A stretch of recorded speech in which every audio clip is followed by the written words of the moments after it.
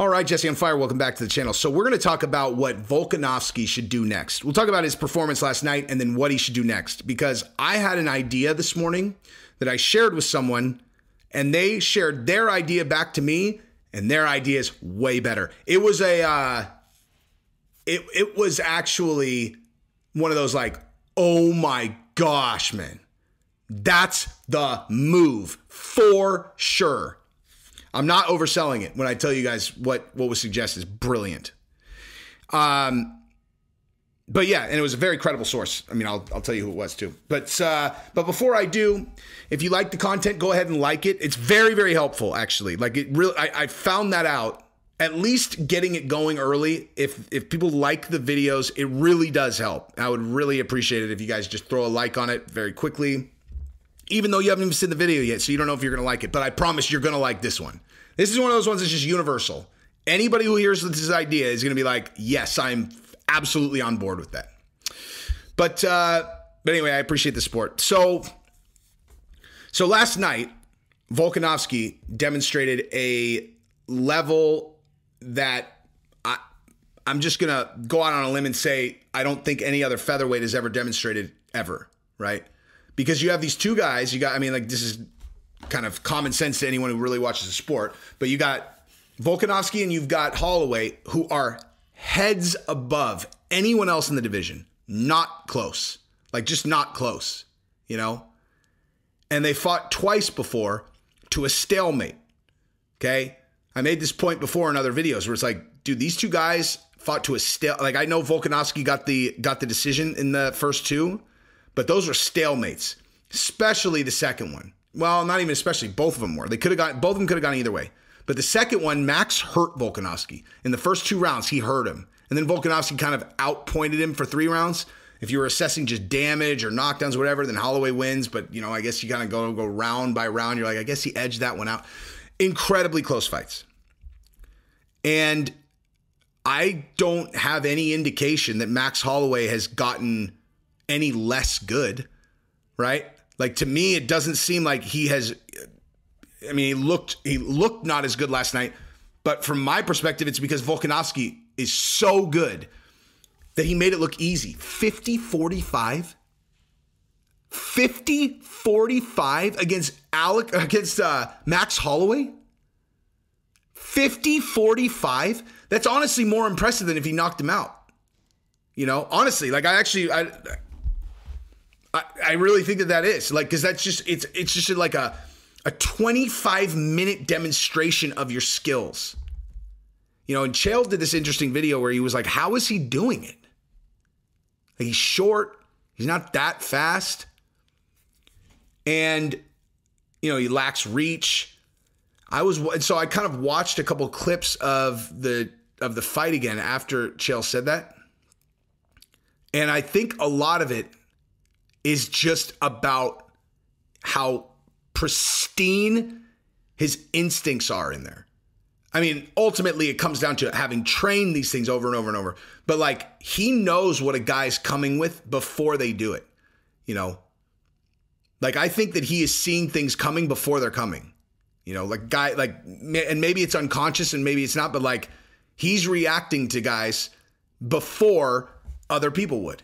You know, like if you if someone a split second earlier knows something's coming and they get to kind of, you know, they get to react to it first. I mean, it's a it's a game of millimeters. I don't know, that's what I saw. He's also he is very very fast. But man, his instincts are unbelievable. He's so good, dude. And so he 50 45, I mean the the conversation's over. He's the best featherweight in the world. I mean by a long shot. But anyway, so he says he wants to go to 55, right? He says he wants to go to 55. And so I was like, okay, well, I mean, if they put him in there for a title fight, that'd be awesome. But given the landscape at 55, that would that would surprise me if they did that. One main reason is because the only time that they ever have guys go for the double champ, only time, is when the person who is moving from one division to the other, okay, is a big draw and the other person is not. Okay. You will not find any exceptions to this rule. Okay. whenever a guy has has gone up or down a weight class to fight against someone for the belt in two weight divisions, every time the person who moves is a huge star and the person who is going against is not. Izzy Jan Blachowicz, right?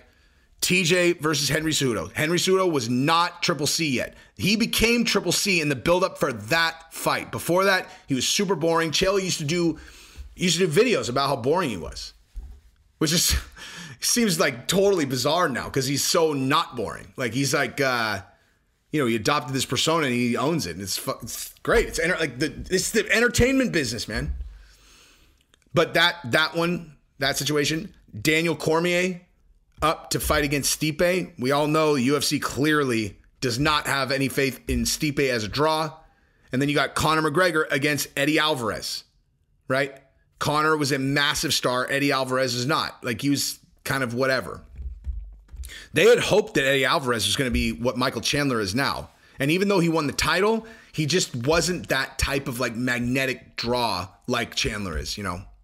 And so, in every single situation where someone has gone up or down to fight for the belt, like I said, he's a star, they're not. And uh, oh, you know what? I fucking take that back. I take that back. There's one exception to that rule, and that's Nunes versus Cyborg. Now, in that case, in that case, the reason why there's an exception there is because there was a there's like no 145 pound girl fighters, right? So they had a real shaky division anyway, and so it was kind of like, okay, well, if Amanda wins, then cool, who cares? If Cyborg wins, Amanda's still a champ at 135. There's no big risk there. But uh, the other thing too is Dana and Cyborg don't get along very well. So I think that even if she was kind of a draw, he's like, fuck her, you know. Although everyone was picking Cyborg to win that fight, that was one of the most unbelievable things ever. So anyway, so Volkanovski going up to fight Charles, that seems like a tough sell to me you know, because Charles is a draw now. Like Charles, Charles is a draw. And so putting Volkanovski against Charles seems like a long shot. And you got Conor in the mix. You got Islam in the mix. You have all these guys right there for title shots. And so it seems like a tough sell to get that fight. So I did another video about the Chandler and Dustin Poirier thing that happened earlier. Uh, but I, I talked to Chandler afterwards and I suggested to him, I was like, dude, what if, because he's like, Chandler wants a fight for the title, period. Like that's that's what he wants. And uh and I was like, dude, what if you tried to bait Volkanovski into a fight, into a 55 fight? He didn't respond to that one, so I don't think he liked the idea. but it doesn't matter because that's not my idea anymore anyway. But uh but anyway, so that like that's kind of the wavelength I was on was like, you know, get a big fight at 55 that's not necessarily a title fight, but you know, big enough name that you could do a five round, you know, five round kind of title eliminator or whatever. So I talked to Danny Molina, uh, Anthony Smith's coach, and he's like, you know what he should do? He's like, he should go up and he should call out Gaethje. I was like, oh. He's like, a ima- like just imagine the uh, imagine the fucking respect that that guy that Volkanovski would get if he went to 55 and in America called out Gaethje, dude. He's a he's a he's a kickboxer. Volkanovski's a kickboxer. So any like any weaknesses that you might see, you know, maybe seen when Dustin against Khabib and Charles as like grapplers, that doesn't apply for Volkanovski. He's not going to fucking grapple Gaethje. He's going to kickbox against him. And you want to know what is an absolute certainty if you fight Justin Gaethje? You're getting fucking hurt, dude. You're getting fucking hurt. Every single one, every single time. You might beat him, you're getting hurt in the process, period. No one comes out. Like, uh, another thing Danny was saying is like, he's like, dude, I mean, yeah, it, he was talking about the Izzy fight. He's like, Izzy fought a, he fought a safe fight, right? It's kind of boring, but at the same time, Izzy could fight next week. Like he took no damage. Like he he could fight next week. No one has ever fought Gaethje and had them say and had uh, like, yeah, but I mean, yeah, you know, like he won, but he could fight next week. Like the guys that beat Gaethje were not fighting next week. When Poirier beat Gaethje, he probably couldn't walk for a month, dude. It's one of the best fights of all time. When Khabib beat Gaethje, he took some merciless fucking leg kicks too. Now he's a stone Russian poker face gangster, and so he looked, you know, he played it off.